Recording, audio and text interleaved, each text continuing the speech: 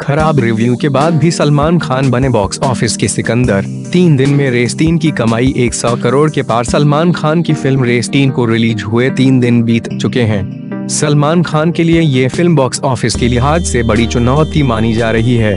दुनिया भर में फ़िल्म के टिकट की एडवांस बुकिंग चल रही है। ईद के मौके पर रिलीज़ इस फ़िल्म का दर्शकों के बीच ज़बरदस्त क्रेज देखने को मिल रहा है। फ़िल्म ने तीन दिनों में ही एक सौ करोड़ की कमाई कर ली है। दिलचस्प बात यह है कि ये कमाई तब हुई है जब फ़िल्म को लेकर न तो अच्छे रिव्यूज़ आए हैं और न ही आए ऑडियंस के रिएक्शन बढ़े हैं। हालाँकि सलमान खान जैसे सुपरस्टार के लिए 100 करोड़ के क्लब में शामिल होना कोई नई बात नहीं है। इससे पहले बजरंगी भाईजान, सुल्तान और एक था टाइगर ने भी तीन दिन में 100 करोड़ रुपए से ज़्यादा का बिज़नेस किया है। बात करें, रेस टीन की तो फ़िल्म ने पहले दिन करीब उनतीस करोड़ रुपए की कमाई की।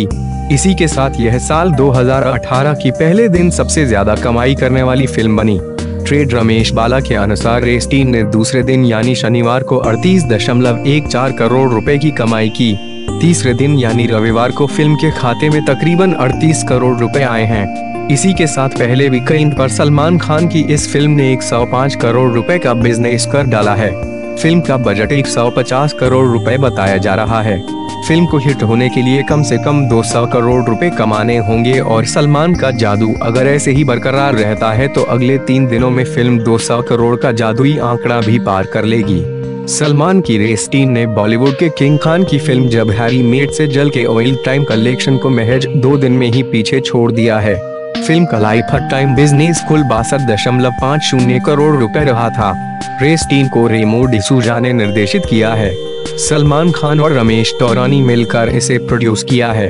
रेस टीम में सलमान के अलावा बॉबी देओल अनिल कपूर जैकलीन फर्नांडिस साकिब सलीम और डेजी शाह हैं। फ़िल्म 4000 स्क्रीन पर रिलीज़ हुई है।